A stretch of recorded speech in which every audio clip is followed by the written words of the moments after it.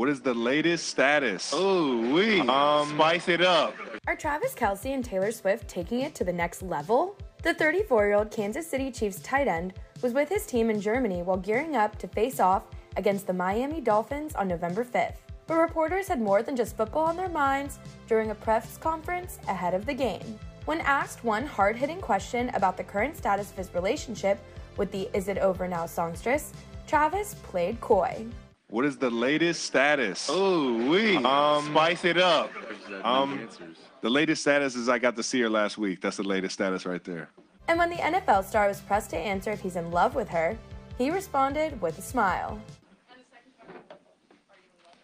Um, I'm gonna keep my personal relationship personal. Travis later revealed if he was expecting Taylor to be in attendance at the international game. You know what? I think when I when I mention or everybody knows that she's at the game, the Vegas, uh, the, you know what I mean? Like the the over under on my catches kind of goes up and down. The the spread goes up and down. So you know I don't want to mess with any of that stuff. So I'm just gonna keep it to myself. The burning questions come as the couple have been stepping out together more and more lately.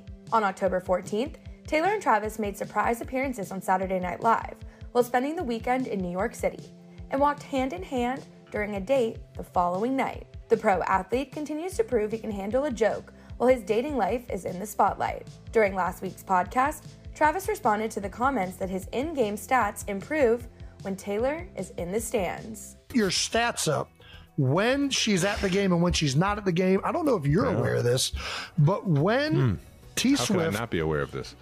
is at the game, you are averaging 99 yards, and when you are left with only your friends and uh, remaining family there, you are at 46.5 yards a game. As it, A- as it I says in the in the edit or whatever it is, left to his own devices. well put, well put. It kind of it's hard for me to wrap my head around that sentence, but yeah.